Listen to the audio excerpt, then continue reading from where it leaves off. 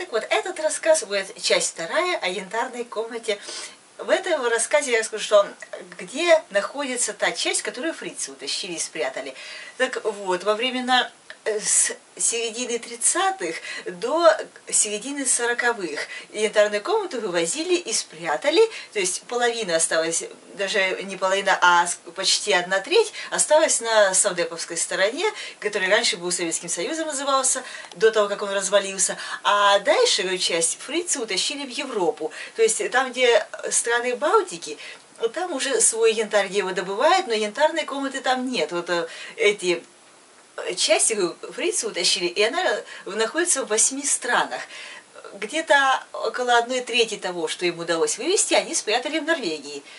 Хотя это совсем к ним больше никакого отношения не имела эта территория, но та часть людей, которые поругались с теми, это был тоже крупный скандал, с теми частью, кто на стороне фрицев хотели утащить сокровища янтарной комнаты, те, кто хотел представить себе, и вот эта маленькая часть они спрятали в Норвегии. То есть ну, им удалось спрятать много по стоимости, не столько, сколько по количеству. То есть у них более ценные вещи там спрятаны. Да, вот город, который у них, э, я так, насколько слышала, это их столица с очень смешным названием.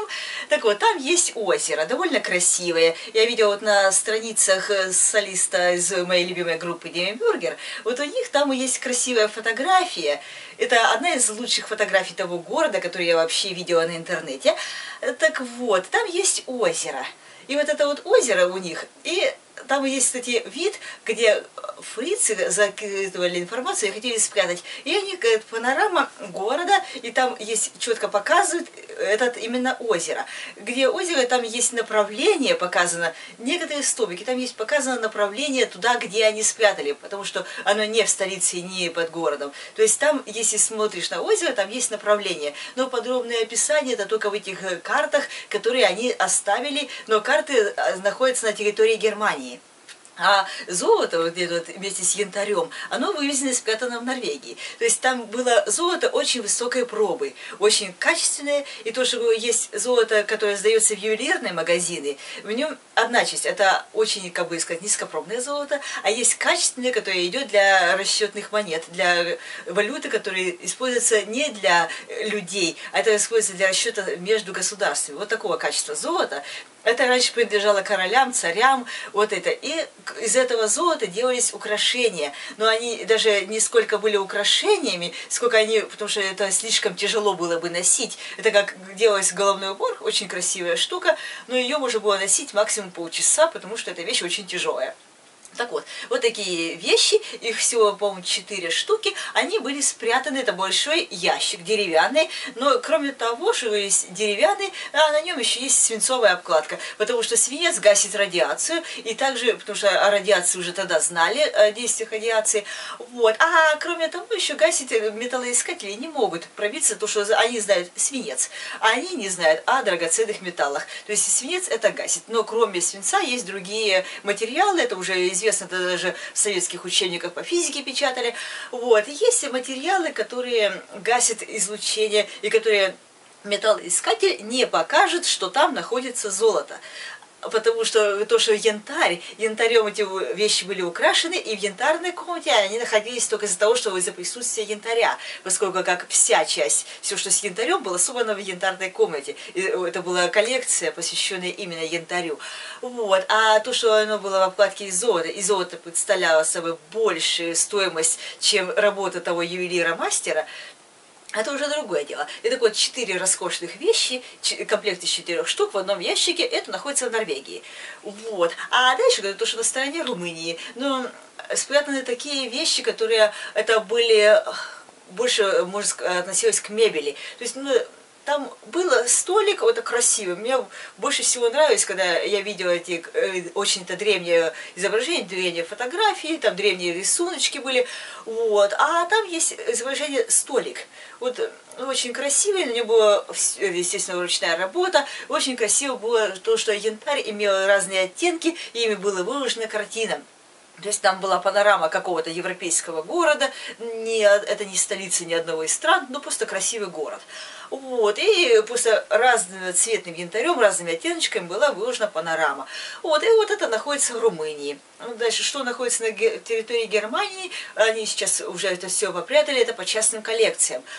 Вот, а дальше они вывозили то, что есть еще в Европе, это несколько других стран, есть еще четыре страны, где они попрятали.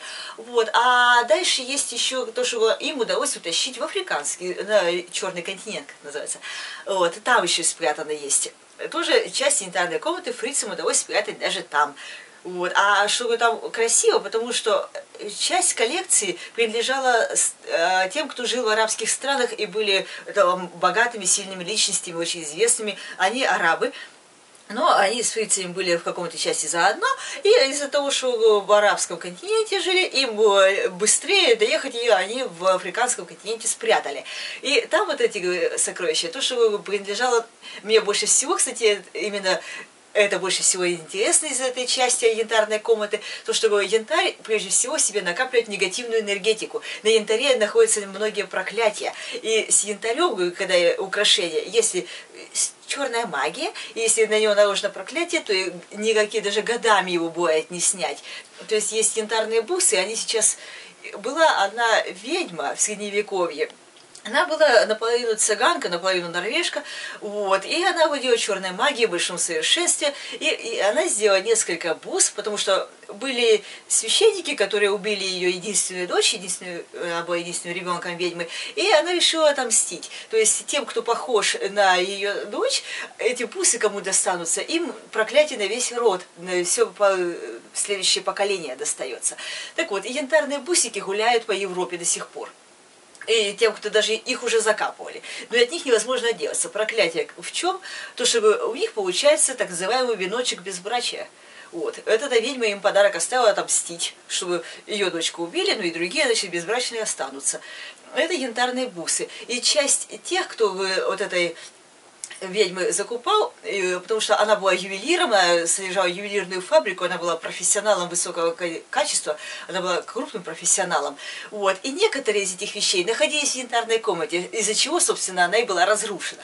Так вот, кроме того, что есть те, кто взял это на африканский континент, там именно часть того, что кроме бус, она сделала еще украшения для головы.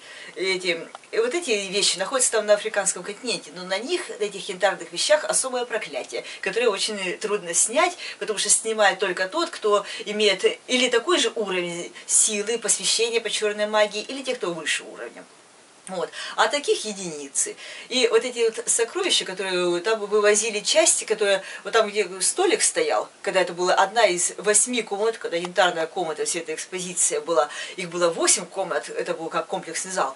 Вот. А там был э, вот этот столик, и рядом с ним была как э, картина или панно можно назвать. Оно была картина, которая имеет с собой объем, то есть фигурки есть просто как рельефные бывают, есть плоскостной рельеф, а есть, которые фигуры фигурка, которая ее можно было отодвинуть и к ней можно было перекрепить на стене, на картине. То есть они перемещаются как объемная мозаика.